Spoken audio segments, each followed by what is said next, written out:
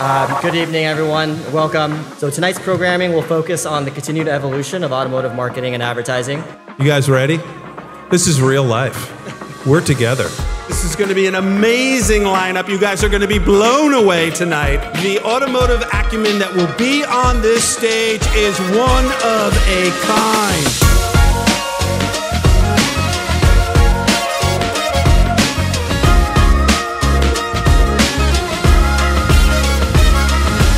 We can't do it alone. You are innovators, full of ideas. You need to play the game. It means you need to understand our business. I am so excited to be here tonight to talk to you about a little car company called Hyundai. Just recently, our Ioniq 5, which was parked outside here tonight, has just been named Car and Driver uh, EV of the Year.